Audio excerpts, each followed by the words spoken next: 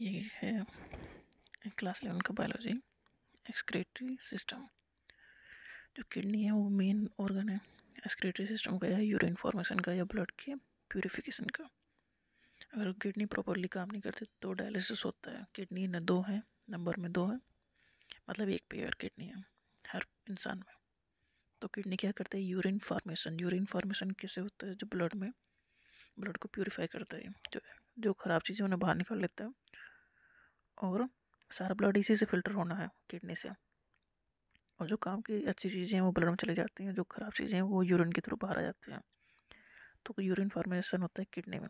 तो किडनी की यूनिट है nephron nephron one million complex tubular structure होते हैं एक हर किडनी में। दो किडनी है। उनके यूनिट नेफ्रॉन जैसे इन सेल यूनिट है बॉडी में, ऐसी किडनी की यूनिट है नेफ्रॉन नेफ्रॉन के फंक्शनल यूनिट इस नेफ्रॉन नेफ्रॉन के दो पार्ट हैं glomerulus and renal tubules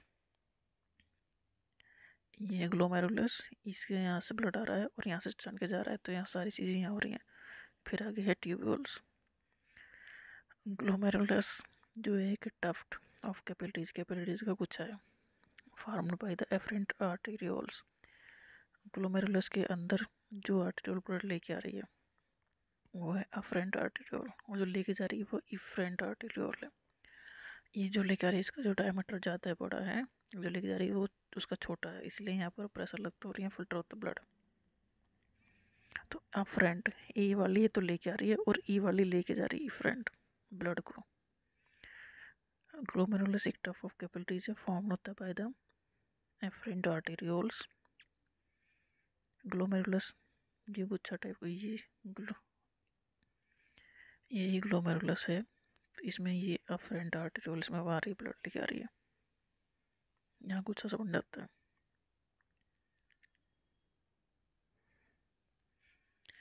Blood from the glomerulus is carried away by efferent arteriole afferent लेके आ रही है इफरेंट लेके जा रही है नेफ्रॉन में ब्लड ठीक है, बीच में हो रहा है ब्लड फ़िल्टर और फ़िल्टर होके फिर अंदर जाता है ट्यूब्यूल्स में।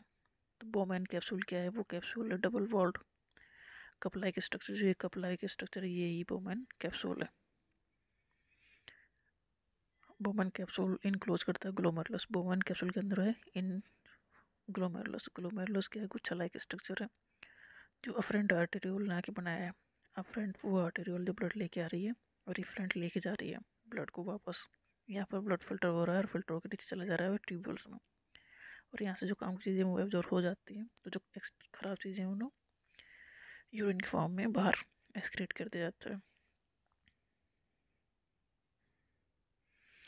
Glomerulus along with Bowman capsule इसे कहते हैं मेल्पिगियन बॉडी या रीनल कैप्सूल ग्लोमेरुलस और बोमेन कैप्सूल इन दोनों में लग कहलाते हैं? मेलपिगियन बॉडी मतलब ये वो स्ट्रक्चर जो है, ये वाला स्ट्रक्चर और इसके अंदर जो ये गुच्छा सा है, सब आर्टेरियोल का, ये अफ्रंट लेके आ रही है ब्लड इफ्रंट लेके जा रही है।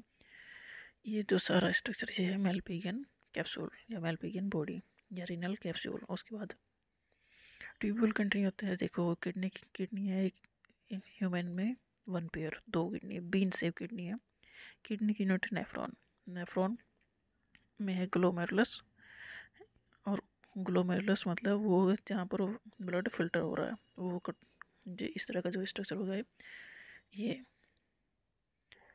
इसमें जब एक साइड से ब्लड आएगा, दूसरी साइड से ब्लड जाएगा। जो और जो ब्लड लेकर उसका डायमीटर बड़ा है क्योंकि ज़्यादा ब्लड आएगा? जो लेके जा रही है उसका छोटा है, जिससे के बीच में प्रेशर लगेगा और ब्लड फ़िल्टर होके नेफ्रॉन में जाएगा। नेफ्रॉन में जो पी सी टी आ गए हैं ट्यूब्यूल हैं आगे तो यहाँ जो फ़िल्टर हुई चीज़ें हैं ट्यूब्यूल में तो पहली जो ट्यूब्यूल का पार्ट है वो P C T proximal convoluted tubule उसके बाद है लूप उसके बाद है D C T distal convoluted tubule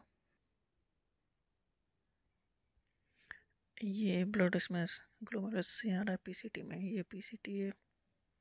फिर होते हैं ले लूप, ये नीचे गिरने वाली असेंडिंग नहीं, नीचे वाली डिसेंडिंग और ऊपर वाली असेंडिंग फिर यहाँ होगी सी टी और ये कलेक्टिंग डक्ट और यहाँ है ये ग्लोमेरुलस तो ये हैंले लूप है. ये पीसीटी है, ये डीसीटी है डिस्टल कॉन्ट्रिट्यूबल ये कलेक्टिंग डक्ट है तो हैंनली लूप ये वाला स्ट्रक्चर है तो नीचे आने वाला स्ट्रक्चर है descending Henle loop Henle loop और ये, ऊपर वाला असेंडिंग हैंनली लूप तो यहाँ ब्लड फ़िल्टर होके आया है.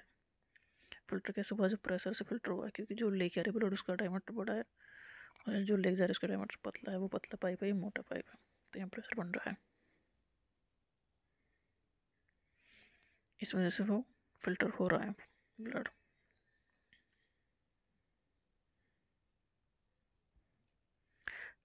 डीसीटी ओपन हो रहा है कहाँ? कलेक्टिंग डक्ट में कलेक्टिंग डक्ट में यूरिन बन गया पीसीटी का काम क्या है?